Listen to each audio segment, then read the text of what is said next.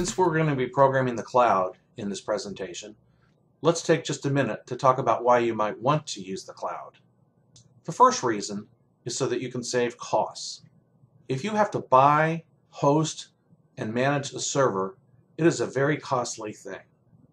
The cloud, even though it's not free, is cheaper than buying, hosting, and managing your own server.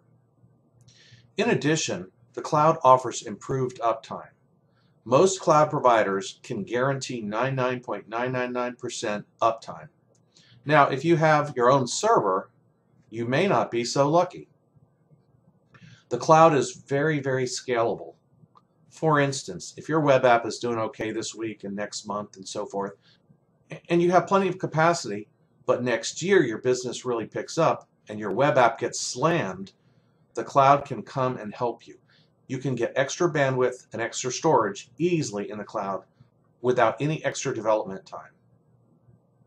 The cloud is also very easy to use. It really doesn't take a rocket science to use the cloud and to program to it. And lastly, you'll get to reduce your IT staff or at least your reliance on IT contractors. The cloud doesn't require any IT staff. All you have to do is upload your application and it's ready to go. When I did a Google search looking for cloud services, I got 180 million results. There are lots of cloud service providers. Be very, very careful when you select one. You don't want them to go out of business in six months. I feel very comfortable with the Microsoft products, so I'm going to show you Microsoft Azure. And as you can see, I've got my account opened up here in front of you. And I'd just like to point out that this is the server name. And that server is what I will use on my connect string for my application.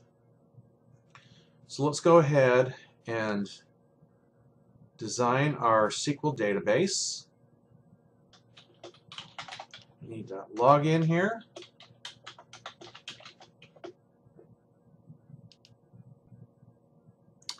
And let's go ahead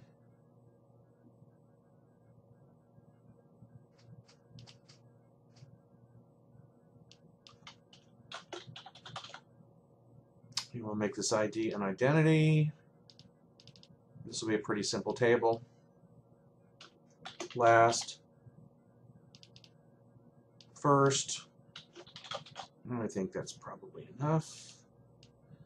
Make both of these 50 and we'll give them default values. Okay. Then all we have to do is save it. Now that was an easy table creation process. Okay, so let's go ahead and do a query. If we do select star from people, you won't see anything since there's nothing in the table. Okay, so here we go. Let's insert some data.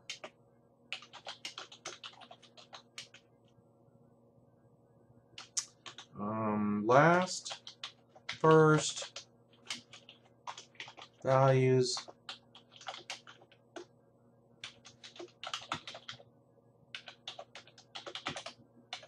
That's me, of course, and we'll run this query. And there we go. And if we go back and we do a select,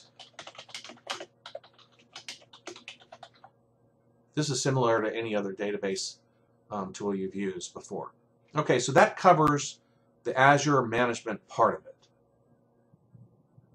Okay, let's go ahead and develop an application. As you can see here on the screen, I've just got a basic application shell. The next thing I'm going to do is go ahead and paste in some boilerplate database access code. Here's my connection string.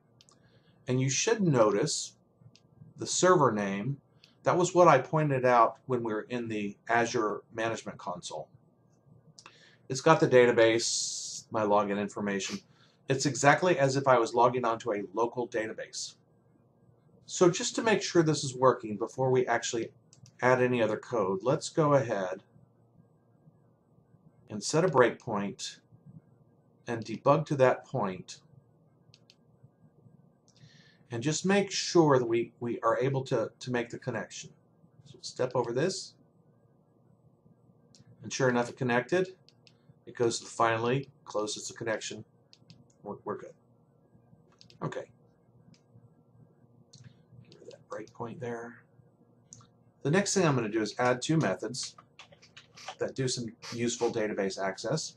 The first one is going to query the database and then display all the database records that it finds. And here we're just going to do a simple select.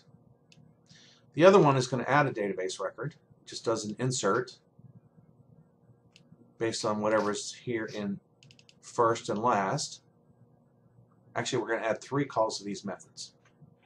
So let me just go ahead and paste them in. Now, right now, there should only be one database record. It will have my name. After we add the database record with Sam Sneed's name, then we'll show the database records again, and we should have that additional row in the database. So let's go ahead and run this and see what we get. There you go. Perfect. As you can see, this is exactly like programming to a local database. Azure is easy. As you've seen, programming with Azure is very, very easy. In fact, most of the cloud platforms make it very easy too. Cloud programming solves many IT problems. It also solves many business problems.